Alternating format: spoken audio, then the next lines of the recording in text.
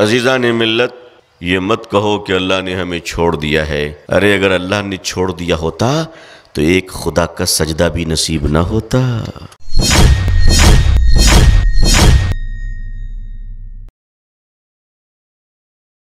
और अमेरिकन चूँकि कुत्तों को बुरा नहीं मानते।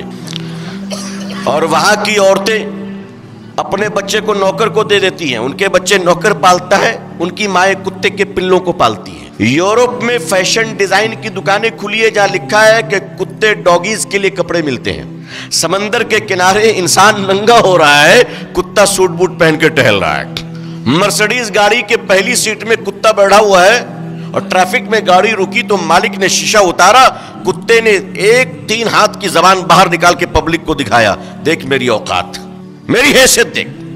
अल्लाह ताला ने उन पर शिकारी कुत्तों को छोड़ा था। अजीजा ने मिल्लत, ये मत कहो कि अल्लाह ने हमें छोड़ दिया है। अरे, अगर अल्लाह ने छोड़ दिया होता तो एक खुदा का सजदा भी नसीब ना होता।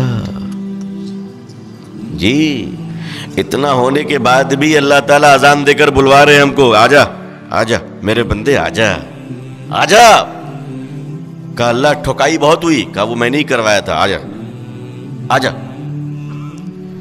मस्जिदों की अजान पाँच पाँच बार मौजिन पुकार रहा है कि देखो, अल्लाह ने तुम्हारे लिए अभी भी दरवाज़ा बंद नहीं किया है, अपना घर का दरवाज़ा खुला रखा है। आ जाओ आ जाओ आ जाओ।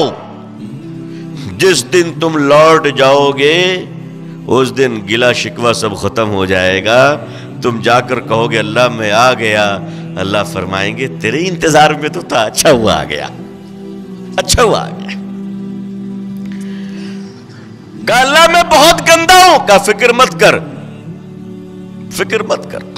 तू अपने रब के पास आया है। तू बहुत गंदा है। मेरी रहमत का चश्मा बहुत बड़ा है।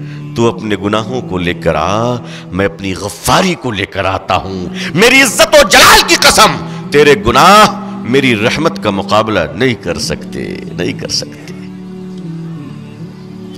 मुसलमानों मायूस क्यों होते हो? मायूसी तो कुफर है भाई। है? दीवारों पे हकीम साहब लोग जो इश्तेहार लिखते हैं, क्या लिखते हैं? पढ़ा है कि नहीं पढ़ा है? इस जुमले का सही इस्तेमाल वही लोग करते हैं। मैंने जो आयत पढ़ी है, ये आयत हमारे तबलीगी जमात भाई वालों का पेटेंट है। और ये जो मायूसी कुफर है, ये हकीम साहब लोगों का पेटेंट है। उन्होंने दीवारों पे लिख के रखा है, मायूसी कुफर है। हमसे मिलिए। आप बताइए। है? और मुश्किल ये है कि उस पर लिखते बचपन की गलती। बताइए, कोई बचपन में गलती करता है? जुमले भी कहाँ से लाते हैं सब? अजीजा ने मिल्लत। अल्लाह ताला ने अपनी रहमत के दरवाजे खोल रखे हैं।